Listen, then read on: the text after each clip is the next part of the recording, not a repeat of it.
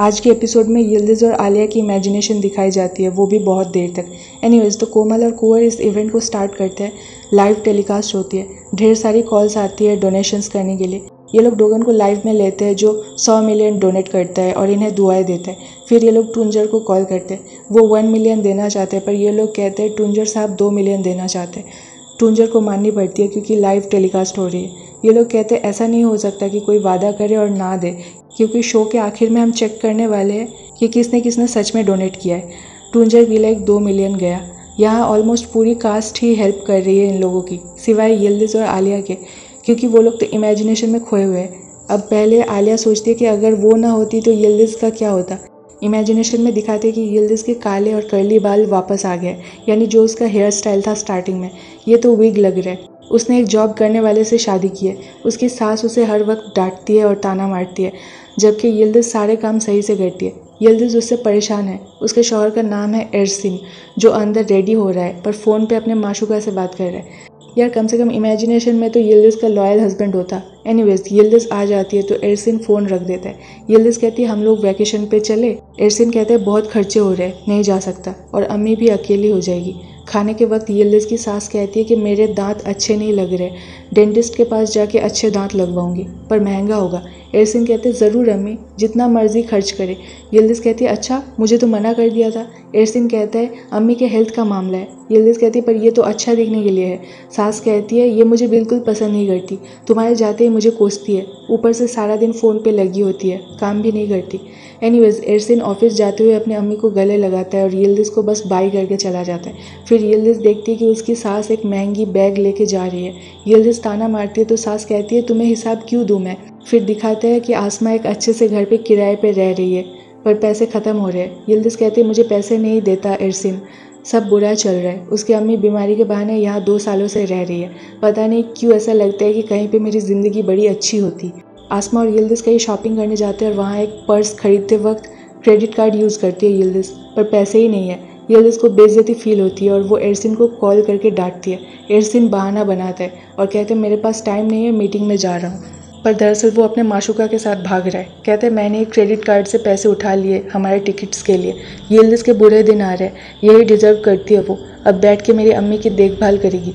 Present में Yildiz Alia से कहती है कि, तुम मेरा ऐसा हाल क्यों कर रही हो? आलिया कहती है, क्योंकि अगर तुमने मुझे ठुकराया होता तो ये होता।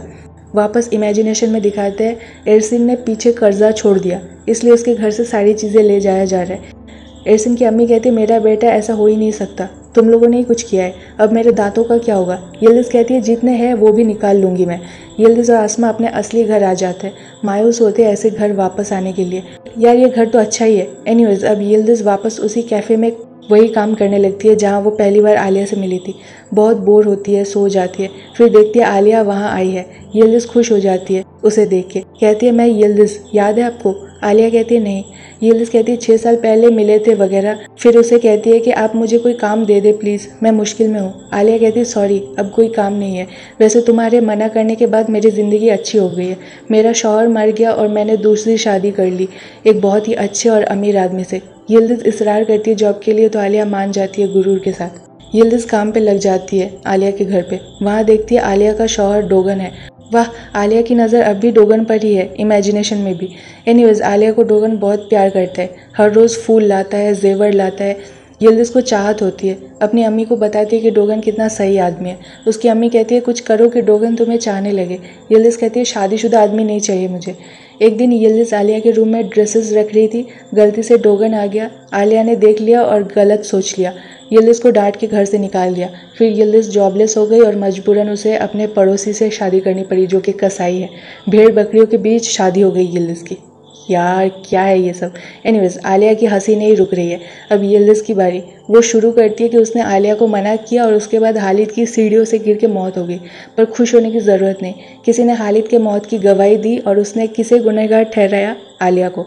इसलिए आलिया को जेल हो गई। बहुत सालों बाद जेल से रिहा हुई और ऐसी दिखने लगी। उसके बाद कुंवर आलिया को लेने आया। कहता है, आप नहीं थी, इसलिए सारे पैसे ख़त्म हो गए। बस में ये लोग घर जाते हैं और ये रहा इनका घर। आलिया रोने लगती है, पर अंदर से घर फिर भी ठीक है। यानी आलिया नहीं तो कुंवर कुछ नहीं कर पाता। आलिया को वहाँ जॉब करने कहते हैं, जहाँ वो यिल्दिज से पहली बार मिली थी। कुंवर आलिया की प्रोफ़ाइल ऐसे बनाता है ताकि ऐसा लगे कि आलिया का क्रिमिनल रिकॉर्ड नहीं है। उसे वही जॉब मिलती है जो यिल्दिस करती थी। पर अचानक बॉस आके कहते हैं कि हमें पता चल गया कि आपकी प्रोफ़ाइल फेक है, आपका क्रिमिनल रिकॉर्ड है, इसलिए आपको जॉब से निकालता हूँ। आलिया भीख मांगती है पर बॉस निकाल देते वहीं पे यिल्दिस और जैनब टिप टॉप होके आते बॉस उन लोगों की खातिर करते आलिया यिल्दिस को देख के शॉक्ड और खुश। उससे वही सब कहती है जो आलिया के इमेजिनेशन में यिल्दिस कह रही थी।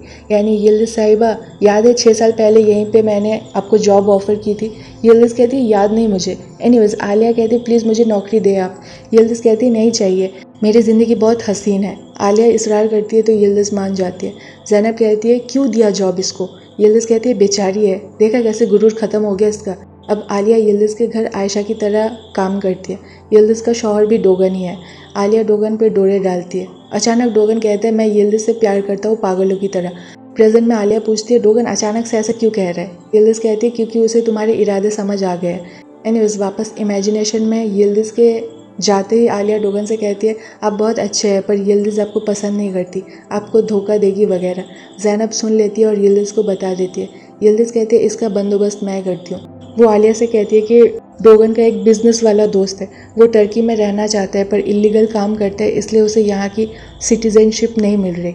अगर तुम उससे शादी कर लो तो यानी डोगन इनाम देगा अगर किसी ने इसमें उसकी मदद की तो। आलिया सोचती है, यानी इस तरह मैं डोगन की कंपनी में जाऊँगी और डोगन को हालिद की तरफ़ फंसा लूँगी। आलिया हाँ कर देती है। यिल्दिज़ एक चद्दर बेचने वाले के पास आती है।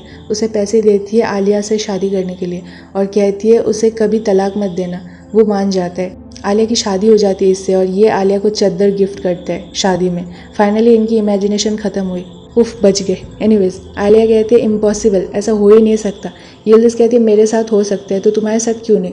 एनीवेज यिल्दिस कहती है, हम फाइनल की तरफ़ जा रहे हैं। क्या तुम तैयार हो? आलिया कहती है, बिल्कुल एपिसोड ख़त्म.